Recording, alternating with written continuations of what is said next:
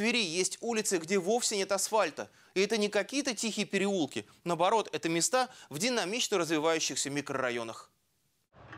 Пожалуй, из всех частей города за последние лет 10 преобразилась наиболее сильно южная. Помимо одноименного микрорайона, который активно расстраивается, выросли и новые массивы. Мамульна-2, Мамульна-3, Брусилова. Неудивительно, что здесь появилась еще одна магистральная улица. Правда, больше на бумаге. Уже не один год и не пять лет в Твери есть Псковская улица. По идее, такая масштабная магистраль, которая соединяет два стремительно растущих микрорайона города – Брусилова и Южный.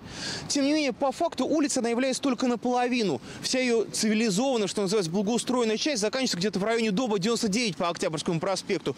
После чего начинается вот этот вот замусоренный огромный пустырь, который люди, чтобы пересечь, вынуждены либо обходить, либо пользоваться таким импровизированным мостиком из этих палет, который все равно потом упирается в эту непролазную грязь.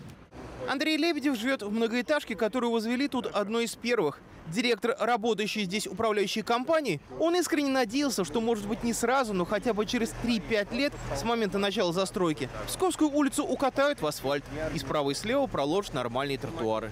Однако ВОЗ, в данном случае грязь, и ныне там. Мы поднимали эти, этот вопрос с жильцами. Жильцы много писали, очень много обращений в администрацию э, города. И э, есть ответы, что это все в планах, все в проектах, это все будет, ну, будет когда-то. Прошлом году ситуация вроде бы сдвинулась с мертвой точки. И частично данный отрезок Псковской заасфальтировали. И это сделали не городские власти, а частный застройщик. Муниципалитет же, судя по всему, не имеет возможности ни благоустроить эту улицу, ставшую по сути дублером Можайки, ни бульвар Гусева, который удлинился почти в полтора раза. А сами строительные фирмы, как видно, не спешат навести порядок возле возведенных ими многоэтажек.